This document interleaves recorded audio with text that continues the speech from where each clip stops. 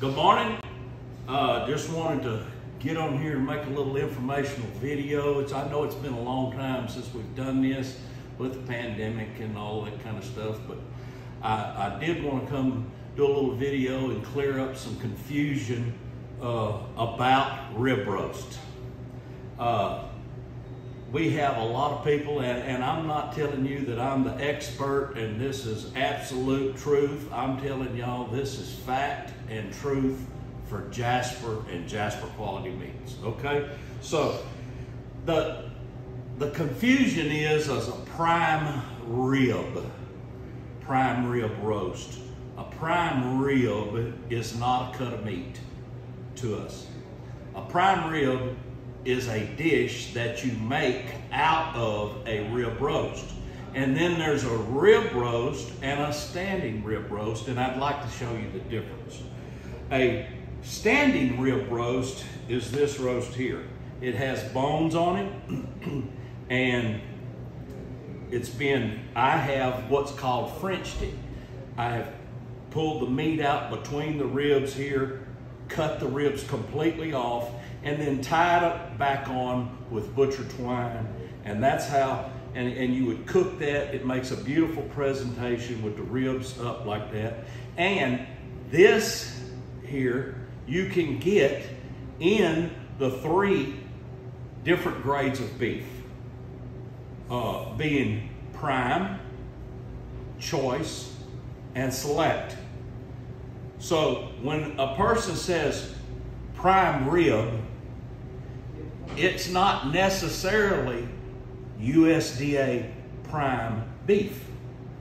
This standing rib roast is actually a select. And you can tell that it does have some marbling in the meat, but not a lot. This is a rib roast. It's the exact same cut of meat as this. It's just boneless. And so it's not a standing rib because there's no ribs there to stand. It is a rib roast. And you can see here in the meat where the bone has been removed. This is a USDA prime grade. You can tell because of the marbling in here.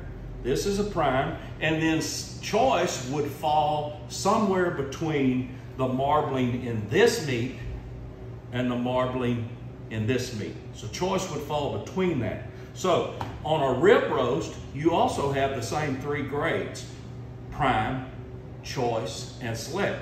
Now there's also the, the uh, Wagyu or the Japanese breeds of beef. Uh, we actually carry one comes from Heart Brand beef that is Akaushi, uh, which is just a breed of cattle.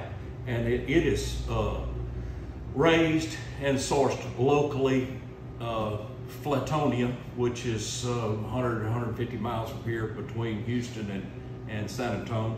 Uh, but we, we carry that beef and a lot of it grades above USDA prime uh, on the Japanese scale. Uh, it's a whole nother subject for a whole nother video, but it's a little, it, it, it's gonna have a little more marbling than even this. Okay, so this roast is a, is a prime, a USDA prime rib roast.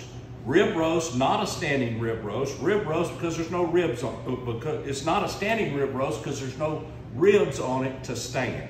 So it's just a boneless rib roast that you would take, take it home, and you would cook the dish, prime rib.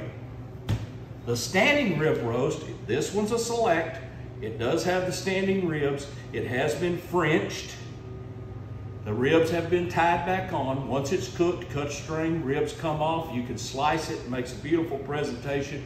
This you would also make a prime rib, the dish, the prime rib out of. So this roast come off of this. This is, so if this is whole, it looks similar to this. It's about the same size.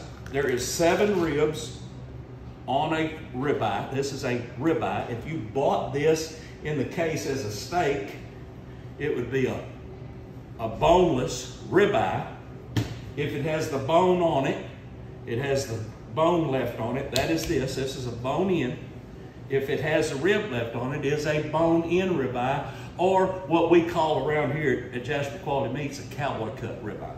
Okay, so this is a whole bone in, still has the bone in it, before it's been Frenched. It's not Frenched, it's not trimmed up at all. There is seven bones, that's the maximum.